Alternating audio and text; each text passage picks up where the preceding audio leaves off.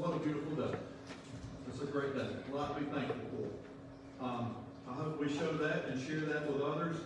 And I hope we share the real reason for the joy and peace and love that we can have and that we can share with others. Um, welcome to Goldston United Methodist Church. And just to make sure that no one is left out, because we've been talking about hospitality, our Sunday school lessons, and on Wednesday night. So just so, again, so no one feels left out, take just a moment to welcome the person nearest to you, or persons nearest to you.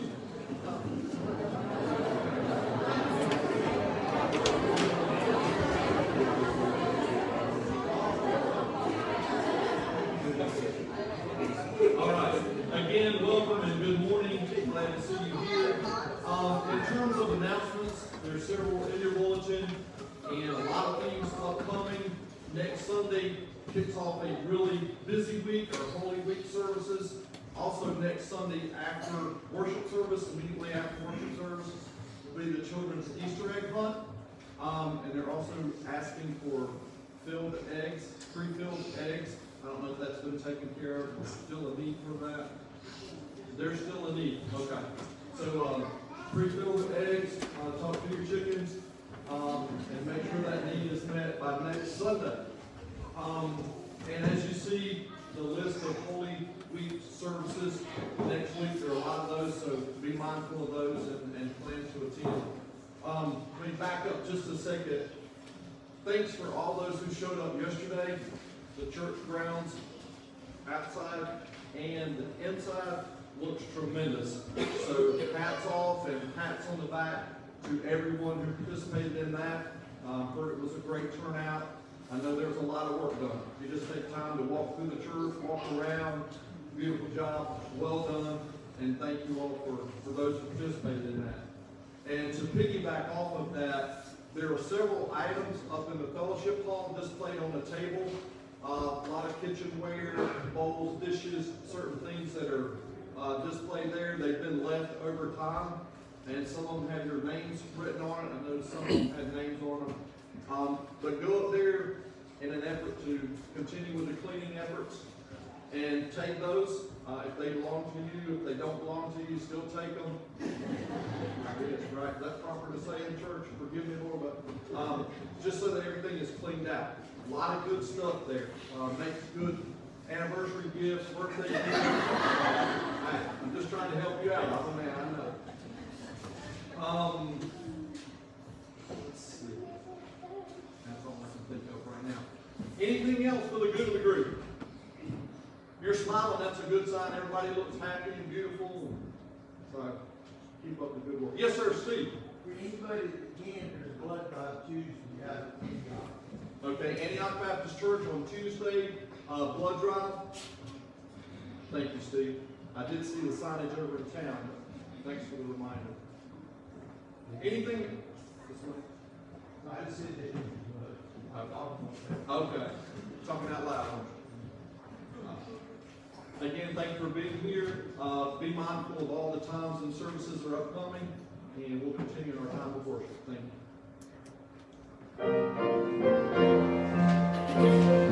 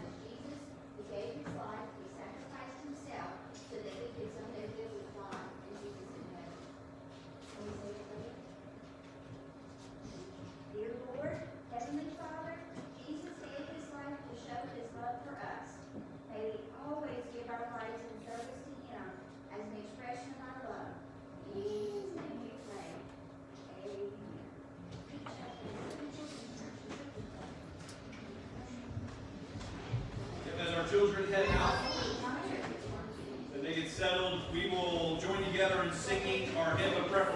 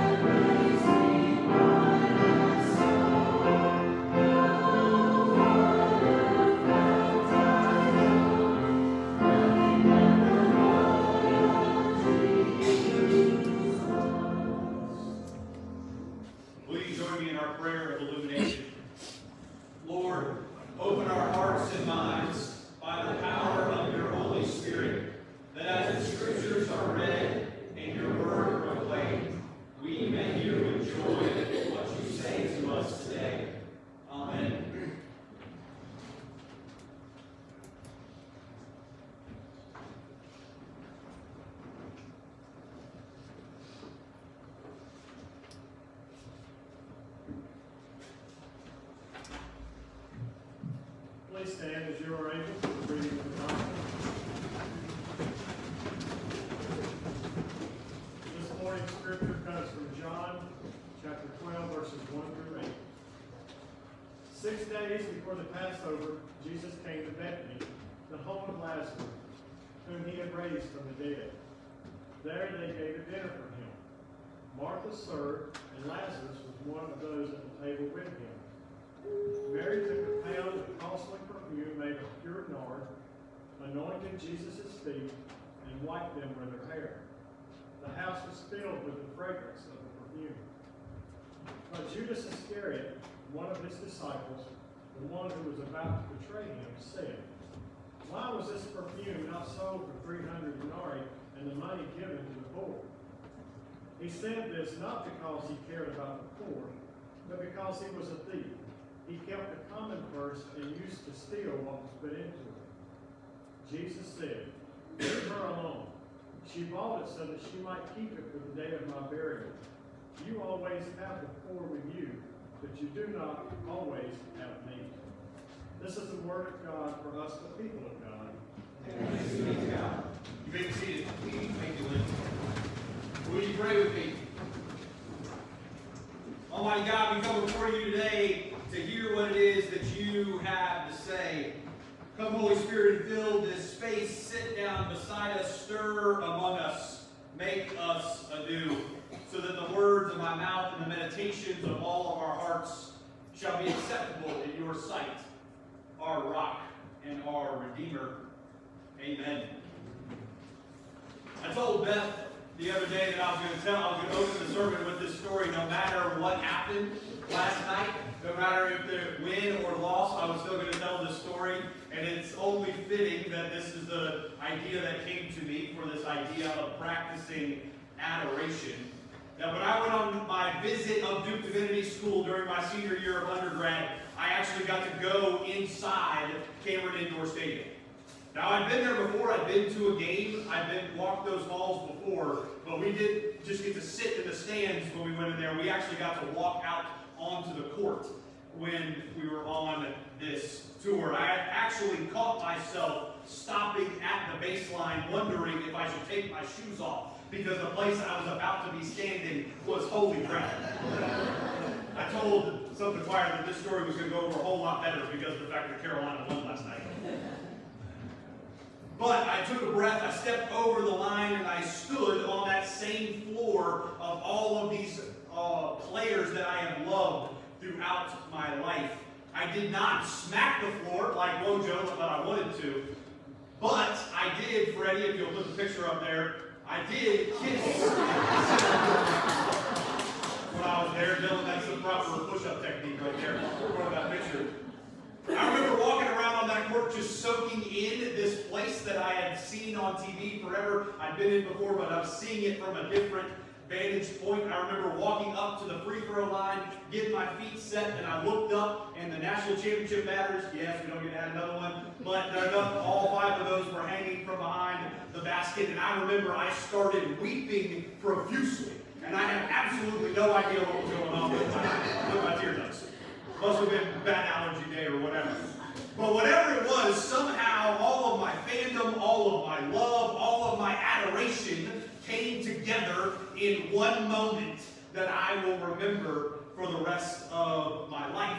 It's why last night was so hard for so many of us, right?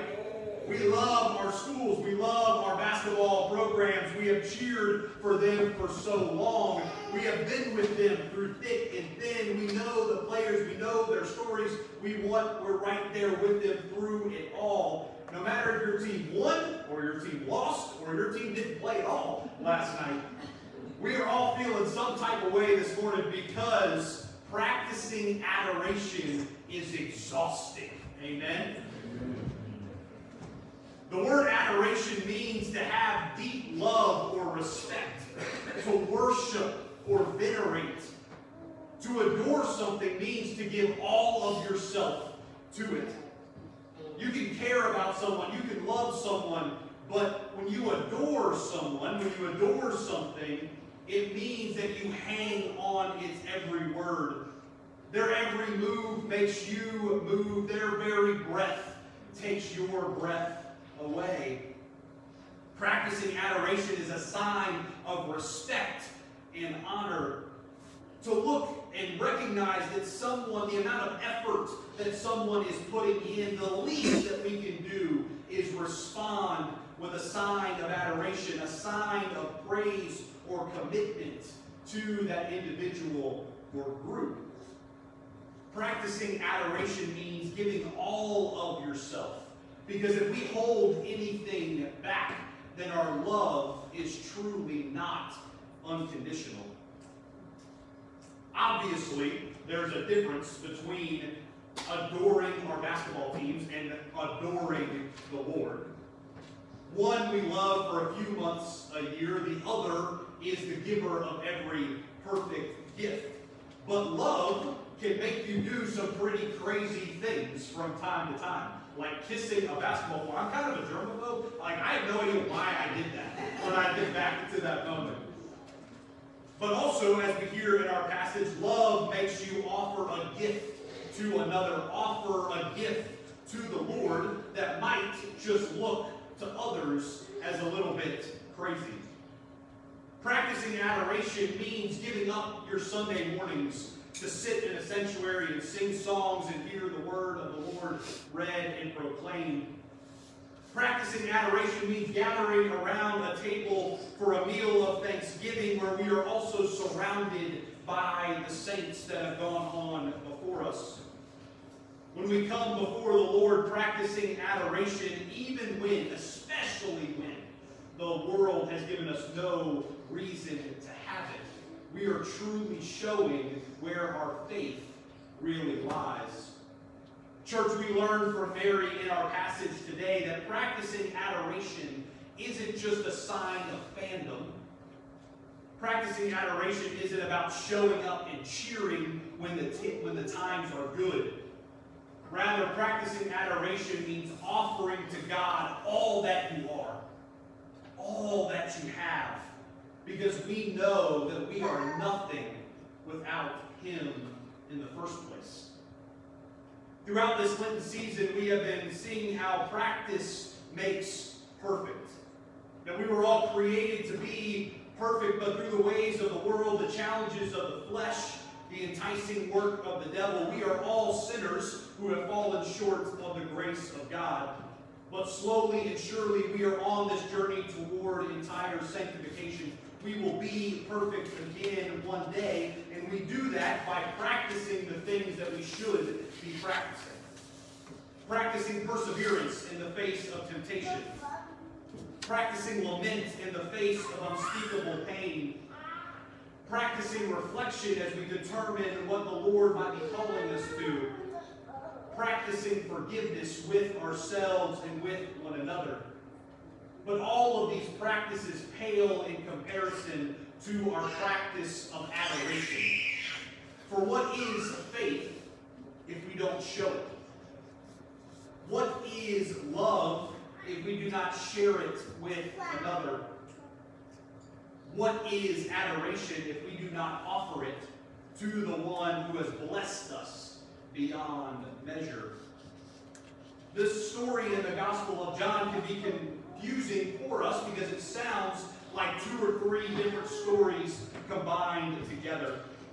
I had to take these verses slowly this week to figure out exactly what story it was that we were reading. That this isn't the story of Martha working and Mary sitting at Jesus' feet. Nor is this the story of Mary anointing Jesus' head with oil. Rather, this is a story about a celebration following the resurrection of Lazarus. Mary and Martha's brother, Jesus' friend, was dead, and now he is alive again. The least this family could do is practice adoration by offering Jesus a meal. Martha gets to work preparing the meal, as we hear her often do. Mary comes and sits at the feet of Jesus, as she always does. But now, instead of just listening to Jesus teach, we hear that Mary anoints his feet with perfume, an extremely expensive pure nard. We hear that this perfume is probably worth 300 denarii, which is about a year's worth of wages at this time that she pours out onto Jesus' feet. In our passage, we get this dichotomy, this tension between two types of service, two types of adoration. On one hand, you have Mary and Martha who give all of themselves to Jesus. One cooks, one cleans, they give, give, give. One uses her gifts to offer him food, and the other uses her gifts to anoint him and prepare him for what this next week is going to bring. And on the other side, in this story, we have Judas Iscariot, who claims to believe, who claims to follow, but all we see him do is take, take, take. We hear parenthetically of how Judas, the keeper of the common purse, the chief financial officer of this ministry that Jesus is leading, Judas is embezzling funds from this work. He's skimming off the top, and we hear Judas get mad about the actions that Mary does. He thinks she is wasting money by pouring this perfume on Jesus' feet. You could have sold that perfume, Judas says, and made so much more, had a larger quantity of money that we could have helped more people with. In reality, we can see that Judas is upset that he doesn't get a cut of that sale for himself. On one side of the story, we have people who practice adoration by giving more and more, ultimately all of themselves to Jesus. And on the other side, we have someone who practices adoration by physically being present, but doing nothing but taking what he wants for himself. Throughout our lives, there are lots of extravagant gifts that are put out into the air where they soon evaporate. Our choir labors to prepare a beautiful anthem every week, just like today, and then three or four minutes later, it's gone. But there are some weeks where you all remember the anthem far more than you remember the words that I say in the sermon. At least that happens to me also. The teacher prepares the lesson, stands, and delivers only to have the class be adjourned and go back out into the world. But sometimes that lesson that the teacher preaches could change the course of a student's life. Mourners provide large arrangements of flowers to honor those that they love, those that have died, only to have those flowers wither and die. But in those moments that those flowers show up, we remember their scent. Saints donate large sums of money for the congregations to spend, trusting fully that they are going to use those funds appropriately. We practice adoration in lots of different ways throughout our lives, and our passage today makes us stop and ask, why? Why do we do these things? Truthfully, Judas is kind of on to something about this illogical nature of Mary's gift. She could have sold that perfume and made more money that could have helped more people gain a larger quantity of money that could have helped a larger quantity of people. The money that we put in the offering plate every week, that same amount of money, we too could go and invest it, let it compound, and it could become a larger quantity of money that could ultimately help a larger quantity of people. However, friends, practicing adoration is not about the quantity of the gift, but rather the quality of the gift. The heart that we have behind our gift. We give our tithes and offerings as a sign of adoration because it was God who first gave to us. We give our adoration to, to God because it is the least that we could do for all of the blessings that He has given to us. We practice adoration to God because He first adored us. There are Judases in our lives everywhere that we turn who come and try to diminish our practices of adoration. People who try to tell us that you can spend your time better, spend your money better, spend your love better. But we know that the value of adoration is only found in what is shown. Praise isn't praise unless it is shown. Faith isn't faith unless we live it out. Love isn't love unless it is shared with another. Mary poured out that perfume on Jesus' feet, and we hear in verse 3 that the house was filled with the fragrance of this perfume. Adoration is a gift that keeps on giving. It's a gift that keeps on blessing. Adoration has a scent that will make the heads and hearts of those who are still coming to believe turn and wonder what are those people at Goldston up to?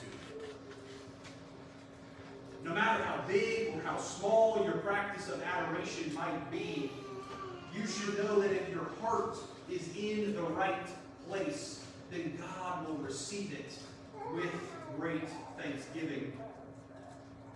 As we turn our hearts and minds these next couple of weeks from Lent into Holy Week and ultimately to Easter, we recognize how quickly our acts of adoration today Our cries of praise next Sunday on Palm Sunday are going to turn to cries of crucify him on Good Friday. The slippery slope it is that leads from Mary to Judas. Friends, might we stay faithful? Might we stay in love with God? Might we practice adoration even in our darkest of days? For we know and believe and proclaim this morning that we are nothing without the grace and love of Jesus Christ.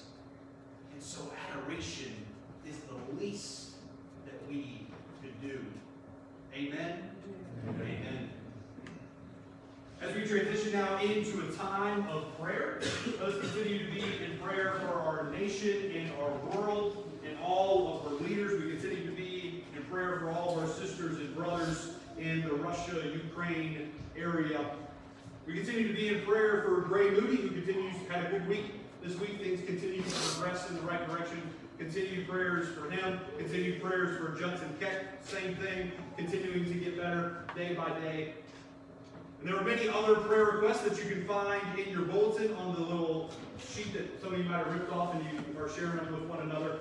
But there's lots more on there. And just a reminder to send in any prayer requests that you have to us during the week so that we can share them with the church family. Are there any other requests that you have, joys, concerns that you would like to share this morning?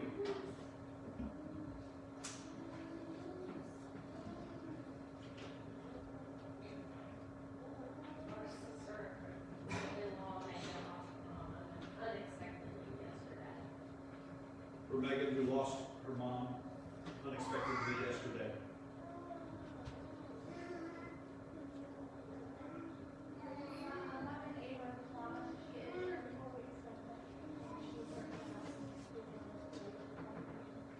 Prayers for Amber, who's preterm complications, so prayers for her.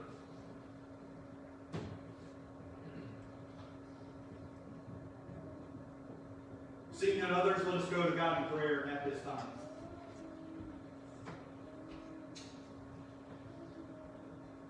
Everlasting God, we come to you today in prayer as a sign of our adoration. For Lord, we are so incredibly thankful for all that it is that you have blessed us with. Lord, we are not deserving of your grace. We are not deserving of your love. But yet you give it to us anyways. Lord, the least that we can do is turn to you and offer up signs of thanksgiving. Offer up signs of praise, signs of adoration. Because, Lord, you are so great and we are so little. But yet we give thanks each and every day that you have chosen to love us. Lord, we know that there are many in our lives today who are hurting those that we have said, those that are continuing to get better, but we continue to lift them up in prayer, and many others that are heavy on our hearts this day. And so, Lord, in this moment of silence, we lift those names to you.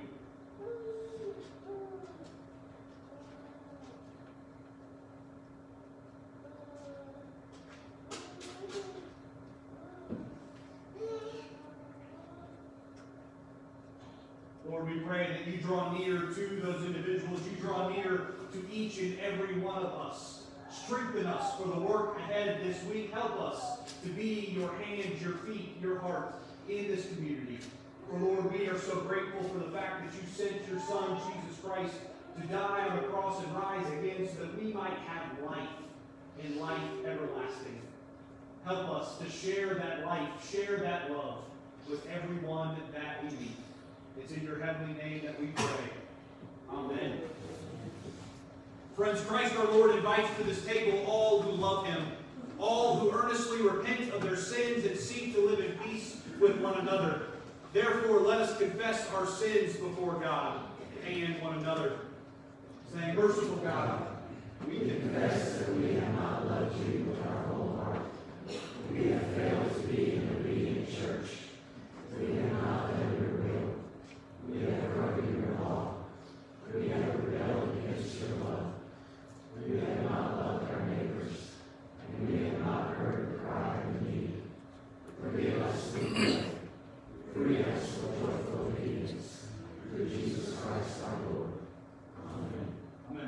pray prayers of silent confession.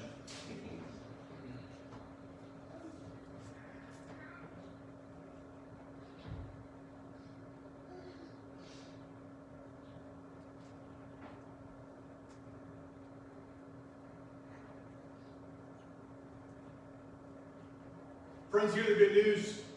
Christ died for us while we were yet sinners. That proves God's love toward us. In the name of Jesus Christ, you are forgiven. In the name of Jesus Christ, you are forgiven. Glory to God. Amen. Amen. Now, as forgiven and reconciled people, I invite you to turn to one another and share signs of peace.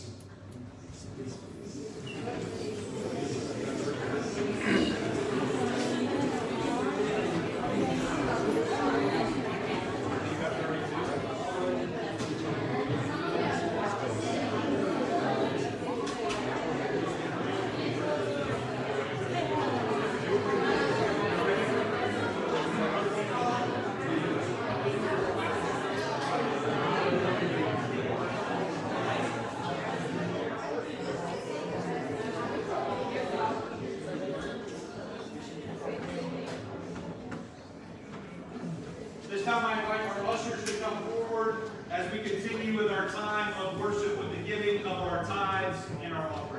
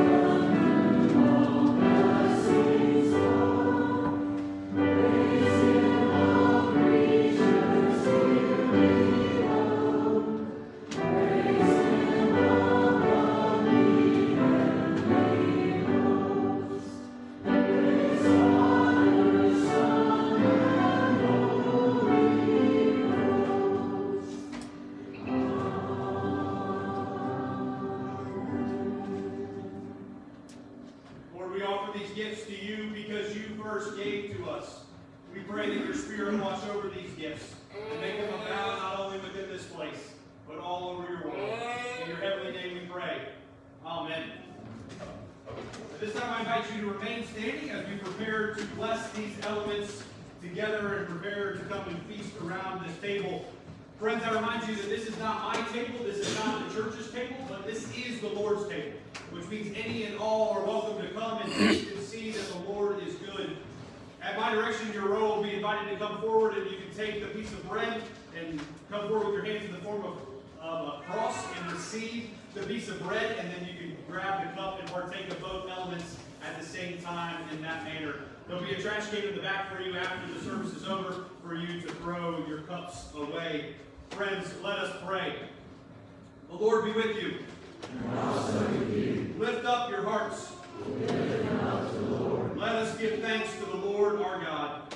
It is right to give our thanks and praise. It is right and a good and joyful thing always and everywhere to give thanks to you, Almighty God, creator of heaven and earth.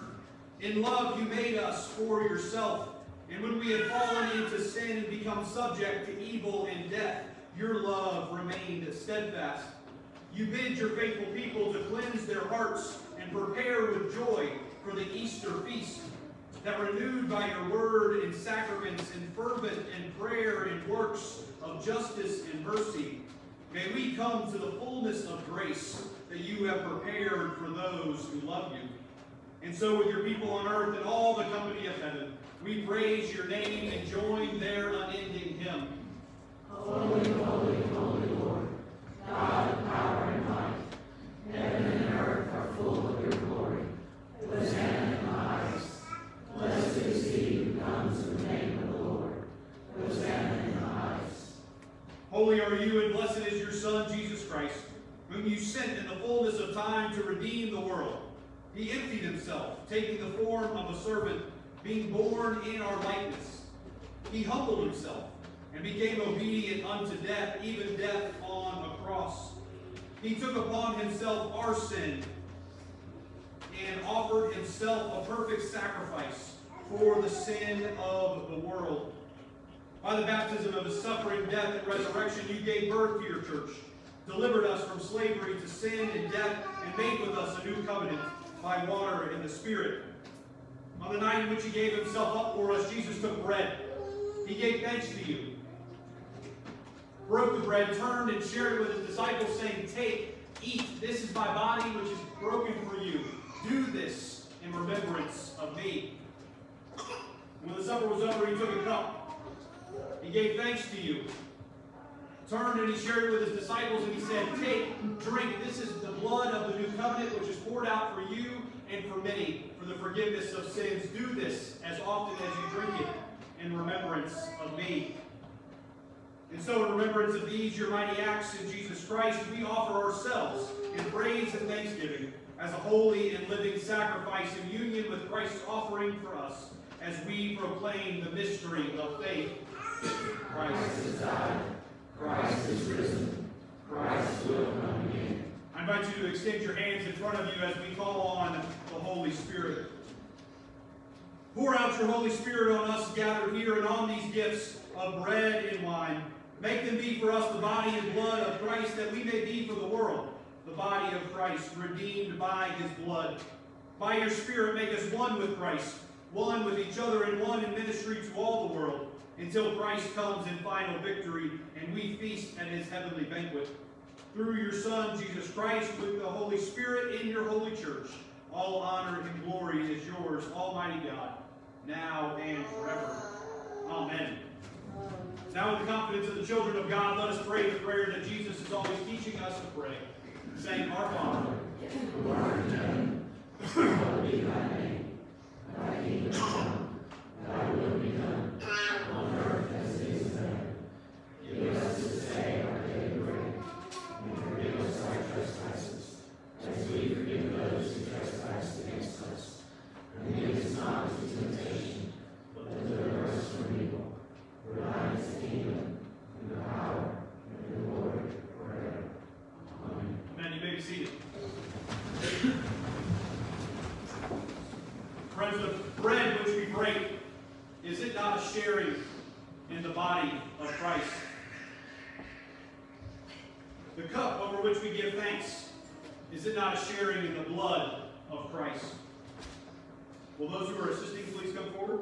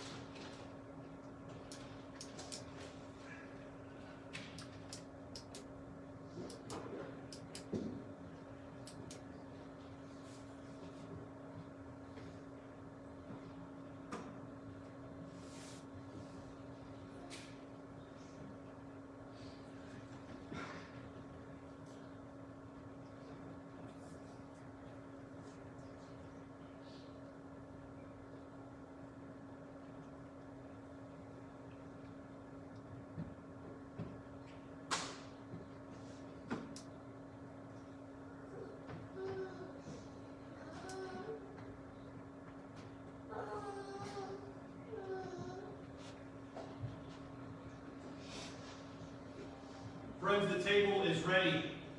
Come and receive what you are. Go and be what you receive.